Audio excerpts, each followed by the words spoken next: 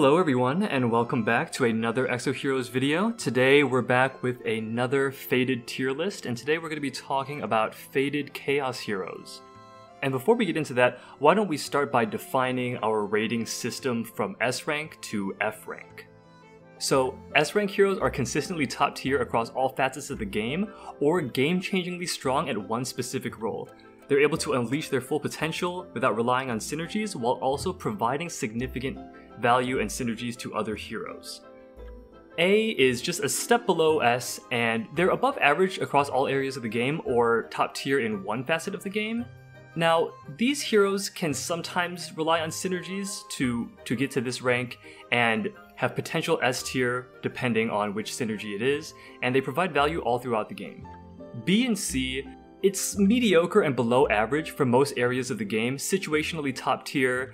They do depend on synergies to become useful and unleash that full potential like we talked about. They should be useful in the early to mid game, but as you move into the late game and pull better heroes, they'll kind of fall out of your roster.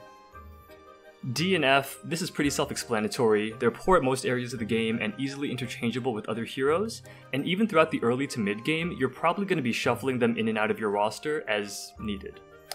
F rank is F rank is reserved for heroes that are really just not not even worth calling heroes. They're just fodder for re-rolling or, you know, selling them for gold. So hopefully we don't run into any of those. But uh, without further ado, let's get started. Okay, so yeah, I think looking at the Fated Chaos heroes, one thing that jumped out to me is most of them are pretty good. But there's a clear upper echelon of Chaos heroes here, right? I think there's six of them, and the bottom three is nowhere close as the top three that we're looking at. And one interesting thing about it is, I feel like the Fated Chaos heroes are very kind of PvP oriented heroes. A lot of them are great in that area, which we'll look at. But why don't we start with the bottom one? So I know like both of us, we have on our tier list here ranked Valentina and Baileysh towards the bottom end of this whole list. And I'm a little bit higher on Valentina than you, because I, I see you put Baileysh at number 5 instead of Valentina. Right. So why don't you talk a little bit about why you think Baileysh is better than Valentina? Right, so for me personally, I think that Baileysh, his damage is higher, specifically on A2 with the long dot. It lasts 5 turns, it does a lot of damage per turn, and he has the Dragon Raid utility, which Valentina does not provide. And he also has a Fate Core, which gives him this sort of extra boost because he's a first Guardian Fate Core, so he's got the Great One passive, he's got the Dragon Blood passive, and that's just like generally very useful. If we're talking about his potential, I think that puts him a little bit higher, as well as him being useful for the Darkness days for Dragon hmm. Raid because he's got the dot, so he can break Guardian Sure. Stones. Five ticks, that's five stones, right? So I just think that he specializes in one area, and if you get his FC, he is definitely more of a generalist and can excel in more parts of the game, which is why I put him B rank but above Valentina. I see. Yeah, I have both of them in B rank as well.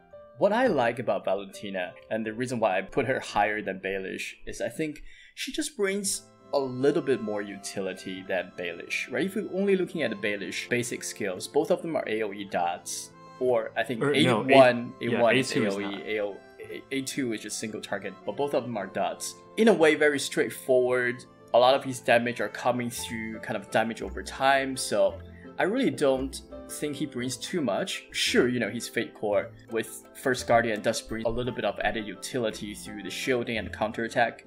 But I think even among the First Guardian lineup, I think it's probably the weakest of the bunch. I think obviously Rera, Maggie, Xeon. um, Xeon, like I would I would rank all of those before him. So I really don't think his base kit offers too much. And I think among the First Guardian Fate cores, if you have someone else, you probably have the other character in his place instead. With Valentina, what I do like about it is the fact that she does bring a little bit more utility on top of her dot damage. So both of her skills, A1 and A2, will allow her to synergize with Shufraken and then add a 10 mana mana burn. And that's quite substantial because 10 mana, right, essentially erases all of your mana reserve. So that's substantial when it comes to being able to lock down one single target, especially in PvP situations when you want to focus down that one backline threat. So you're able to use that and just kind of nullify their effectiveness completely. Obviously, that's dependent on her partnering up with Shufrakin, but I think when you have that partnership going, that's quite strong. So, I mean, I, I agree with all of your points, specifically the sort of divide between the two. Baileysh is obviously more damage focused, Valentina is more synergy focused. So, I just want to bring up some parallels. In both of our arguments for why one is better than the other, we talk about their potential, right? Valentina's true potential is her synergy with Shufrakin, and Baileysh is his Fate Core, right? Without those, they're both similar. Sure. And then I think that it really depends more on your specific comp. Like, do you need the utility? Do you need a silence? Do you need, you know, that sort of threat control, like that sort of crowd control? Then obviously bring Yeah. Valentina. If you need some more damage, then bring Baileysh. Yeah, But um, absolutely. yeah, they're both pretty even. Yeah. So why don't we go ahead now and we could talk about our next hero, which is Jinai. Sure. And actually, I just want to briefly touch on Valentina. Okay. Um, one other thing is that, you know, we do know that she is part of the Summerfest lineup. she is. So she is going to get a Fate Core. So that's something to keep in mind, right? Like even though she doesn't have one right now, but we know with the Summerfest, you know, that Fate Core can be interesting. And one thing I want to bring up is Summerfest has this ice shower passive, right. which allows you to kind of to kind of have this um, CC when you attack. And I want to test it out once I have Valentina is whether her dot damage over time each time will be able to proc Mm. you know that that would be interesting because if it does you know that can be a quite substantial cc for you know six seven turns but without it obviously you know the ice shower passive only lasts three turns which is relatively short so it's something to watch out for but just want to point that out Yeah, definitely. I mean, Valentina is coming out along with the other Summer Festa heroes. Yeah. So we have videos of the the two currently out, Dagus and who was the first one? Scarlet. Scarlet. So if you guys want to check those out, Yeah. we've got some more info on those. Yeah. But for now, Yeah. Jinai. Sure. Yeah, and I think Jinai, Baileysh, Valentina all very similar in terms of they are all kind of uh, dot damage focus, right? And by dot we mean you know damage over time. So all of their skills have that component. Jinai has both of her skill doing AOE dot damage, so that's one thing that's unique about her. Um, and also, she is one of the five heroes in this game that has a leadership skill, which is Charm. That's unique to her, which, in my opinion, that's why I put her slightly above Valentina and Baileysh. Because I do think that Charm passive is quite useful, and it's very consistent. Because what it does is allow her to put this Charm debuff on any hero that has lower attack than her, and slow their attack speed by 30, which is pretty big. Yeah, that's about a tier. Yeah, it's, it's it's a tier. So, and that's something can be applied very consistently, whether it's in PVE situations or it's in PvP situations. So that's why I think you know, regardless of how her other skills kind of looks, this skill alone makes her slightly above Valentina and Baileysh. But I do want to point out that Jinai doesn't have the highest attack in the game, so this skill wouldn't work on some of the higher kind of attack heroes, which are also the target that you kind of want to slow the most. So I guess that's one thing to keep in mind. But otherwise, um, very similar to Valentina and Baileysh, but I think her leader skill really separates her a little bit. Right. I mean, for me, if we were to break down the grading scale like a little bit more and make it more granular, Jinai is more of like a B plus or maybe an A minus for me, right? In that she's just kind of straddling that line there where I think that at her base kit, if you forget about her leader skill, is is just like C. It's just solid, it's normal, nothing too crazy about it. But again, because she provides that additional utility to other heroes and doesn't rely on synergies herself, I think that is sort of what pushed her up to this like upper B rank here above um, Baileysh and Valentina. Now, unfortunately, the two heroes that she does have synergy with through her leader skill, um, Jin and Shell, Shell I never ever see. Like we don't have a Shell, and I I rarely see Shells in anyone else's comp because I think that the meta is just not like in a good place for that hero right now. So really, it's just Jin. Jin comes with I believe it's a silence for maybe two or three turns. Yeah. Which is good, but again, given Jin's playstyle of like executing a hero and then moving on to the next guy, maybe not the most useful with the rest of his kids. Exactly. And you bring up an interesting point regarding Jinai not having the highest attack, and so maybe, especially in PvP situations, not getting the charm passive off on those priority targets.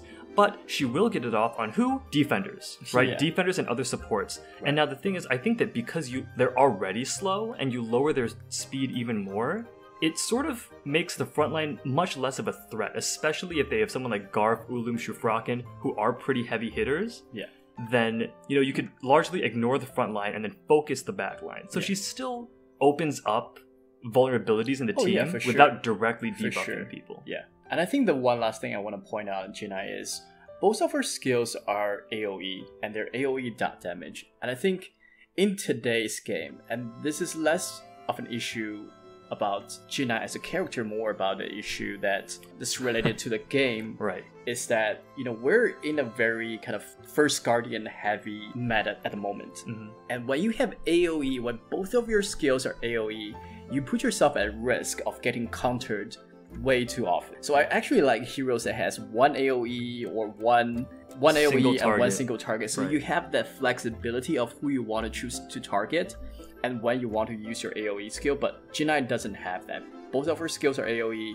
And they're dots. And they're dots. Yeah. So whenever that procs, you know, it also can trigger the counter Mhm. or the wrath passive from the opponent's team. So that's something to really watch out for. If any one of you guys wants to use Jinai, beware of that because she can easily kill herself. And the rest by- of your team. Yeah, so be very, very careful about that.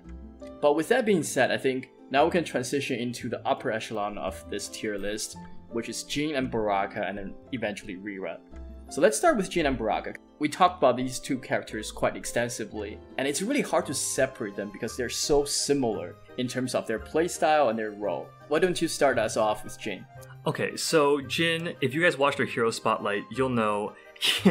I mean, he's just like the assassin, right? You look at his his visuals, you see his kit, and you understand exactly what this guy is supposed to do. And I think that he does a decent job at this. He's a hero that's very strong, especially like you mentioned earlier, um, geared more towards PvP. But the problem with that is he's also very selfish, right? On his own, he provides no utility at all. It's only damage. He's got nothing to help his team, no mana generation or anything, right? The problem there is he's, in my opinion, and, and you can see on the tier list here, we, we both put Baraka a, a little bit above. And that's because I personally don't feel like he's as effective as Baraka in fulfilling that assassin role, and he doesn't provide utility for his team unless he has Jinai, which, you know, we talked about some of her PvP Right. shortcomings earlier. And so I think that's part of the issue here. Those are, to me, his main weaknesses. Now, does that make him a bad hero? Absolutely not. He's A rank, and he was one of the first Fated heroes that we started with He is In- in- the first fated hero we started out. right in the game and we've you know kept him consistently in the roster so you know he's definitely someone worth building if you're just picking up the game but i think that you know for more seasoned players for more senior players who have been around pulled other heroes um, you know he's worth taking a look at and evaluating his place in your team I mean, I, I absolutely agree. I think Baraka fulfills the same role and does it just a little bit better. Especially if you look at his ability to kind of function as a mana battery when paired with Rachel. Mhm. And we know Rachel typically have you know mana issues with high cost A2. So I think that combination and also the fact that Baraka has the first Guardian Fate Core as well, I think all those things just puts him a little bit above Jin. But I have to say one thing about Jin though. I do think in the perfect scenario, and this is something that I have been wanting to try out for quite a while, that I think in the perfect scenario, Jin can be very, very deadly, and definitely, in my opinion, have a higher ceiling than Baraka. And that is if you have multiple Banga Fate Cores and able to form a functional team with Jin and a couple of other um, those hamster Fate Cores with him.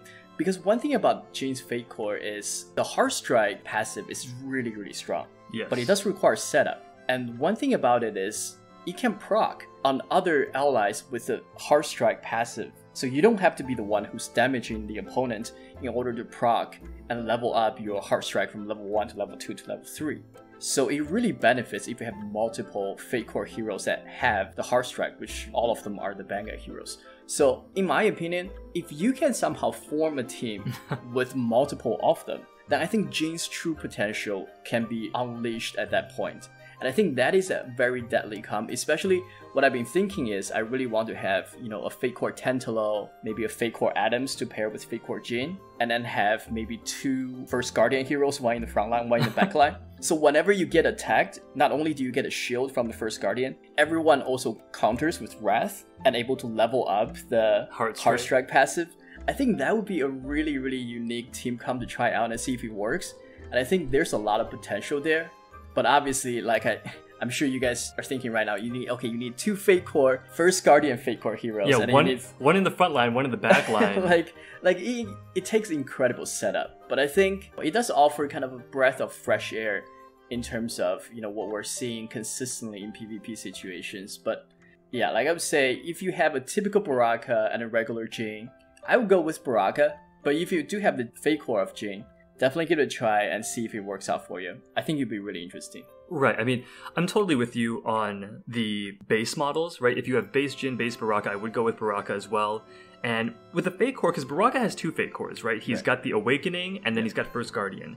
For me, if I were to rate all three of them, like Jin's and then both of Baraka's, it would go Awakening Baraka, First Guardian's Baraka, and then Hamster Jin. yeah because I mean, like you said, Heartstrike passive is just too insane. It's like a ticking time bomb in PvP. Yeah. Like you just hit them like two or three turns, and basically anyone will die. Like it does not matter what their defense is, what their HP is, it- Yeah. they're just gone. And that's just like it's honestly I think a better passive than First Guardian. Again, depending on the comp, you right these like you said they require a lot of setup. Yeah. And I think that even with the Fate Core, that's why they're both A rank because they do need some support. They do need some Absolutely, synergies in yeah. order to really work. Unlike our top tier hero, and in our opinion, the best Chaos hero, potentially with Fate Core, one of the best heroes in the game currently. oh for sure And that's uh our girl Rera. Yeah. Yeah, I think Rera today is probably up there with Bathory as one of maybe the best two heroes in the game. And I think when you look at the top tier PvP, Rera is ever present in every single lineup. Yeah. And it's really about her ability to do damage. I think she is the premier DPS in the game at this point. Even without Bathory, she is very, very good in terms of her ability to put out damage. Obviously, one of her skill has the piercing damage, allows her to ignore 30% of the opponent's defense. Um, her base damage is very good, and obviously she comes with First Guardian Fate Core as well, and that allows her to a little bit more sustainability through the shielding, ability to counter, as well as on top of all that, she gets the Guardian Guardian, Star. Star. passive, which increases her speed by 32, Yep. right? And then allows her to heal herself up when she gets to lower HP, but obviously that requires um, Bathory. Bathory. But I mean, she's just insane, right? Like her attack speed will allow her to always go first, and then she just has so much damage through her base kit, right? It's it's amazing what she can do. And when you pair her up with Bathory, she gets the bite passive on both of her skills, which will allow her to do damage proportional to how much mana there is on your team. So I mean, like I would say when Bathory and Rera are paired together, which they most of the time they always are, when that pair is together, it's actually more about Rera doing damage than it is about Bathory. Bathory is just there to kind of unleash the true potential of Rera, but yeah, I mean she is she's absolutely insane. I mean, I think that if you're a new player watching this video, this is probably news for you, but if you're somebody that's been playing for, you know, the past couple months or so, then this will come as no surprise. Like, FC Rera's definitely number one. She's just an incredible hero. But if we just dial it back a little bit and talk about just base Rera for a second, right? I think even base Rira is really unique in that among fated heroes, she just can do so much. I mean, one of the points that you brought up earlier was how Jinai is weak in PvP because both of her abilities are AoE and they're dots, and you wish that you had a balance between single target and AoE. Rera has that, right? So she has a single target A1, um, and then AoE A2, Yep. and like you said, there's the piercing damage. Her auto attack itself, her basic attack, comes with debuffs, right? So it's just she does a little bit of everything. I think even in her base kit, and it's already strong enough. So like if you get Rera, don't hesitate to build her because it's only a matter of time until you get her Fate Core, and when you do, it's just it's gonna be so worth it. We got lucky and we pulled FC Yeah. Rera on the banner, and she has. you know, we were talking about how we started out with Jin, and he's he's carried us for a long time. He's carried us through most of the story, but then when we got FC Rera, you know, it was just Yeah, it was it was over for Jin. yeah, I, she she was too good, and Yeah. she's been in our comp ever since because there's just too much there. There's utility. She's got healing for herself. She's got AOE. She's got single target.